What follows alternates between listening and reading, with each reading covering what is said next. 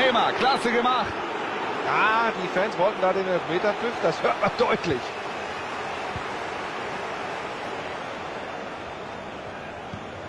Ballverlust.